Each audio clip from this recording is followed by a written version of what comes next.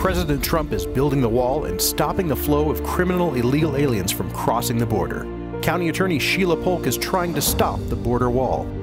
Sheila Polk is against deportation, supports amnesty, and has endorsed a pro illegal alien group.